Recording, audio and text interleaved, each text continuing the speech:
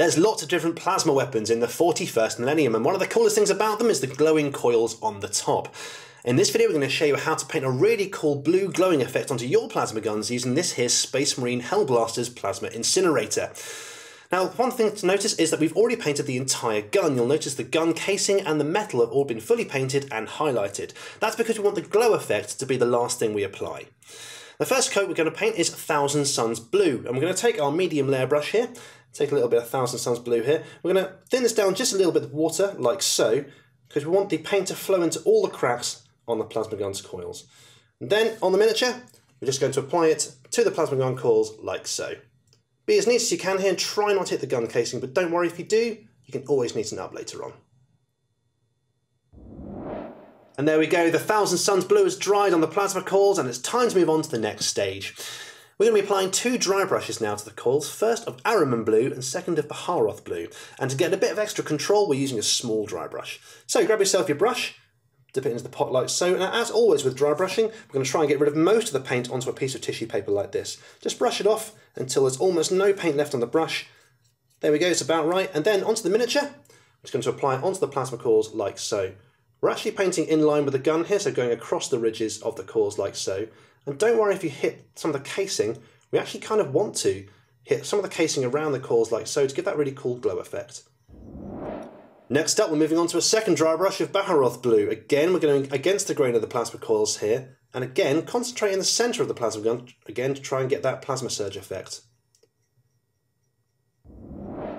With the two dry brushes applied, it's time to move on to the next stage. And we're actually going to be applying a glaze to our plasma coils. Now a glaze is a super thin down paint designed to bring highlights together, and in this case we're actually going to use a contrast paint, Talassar Blue, and we're going to thin it down quite a lot with contrast medium. So grab yourself your medium shade brush, I'm just going to take a little bit of the contrast medium out of the pot like so, onto the palette, maybe about three brushfuls like this, and then just a dot of the Talassar Blue, we want just a little bit of the pigment in there, you know what? I'm going to wash the brush off. I'm going to take a little bit more contrast medium out of the pot like so. There we go, about right. And then onto our miniature, we're just going to apply it evenly all over the plasma coils.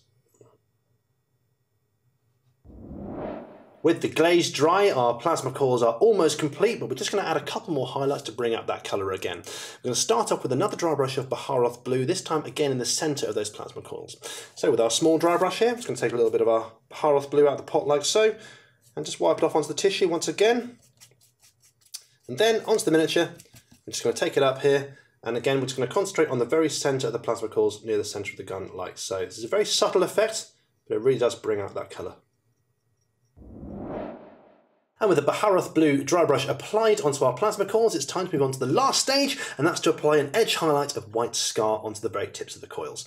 So we're going to be grabbing our small airbrush here for lots of extra control, Take a little bit of white scar out of the pot like so onto the palette.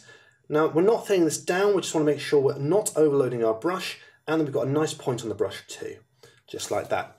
So then onto the miniature, we're now going to apply it onto the very tips of the plasma coils like so, concentrating on the centre of the gun again to emphasise that surge effect.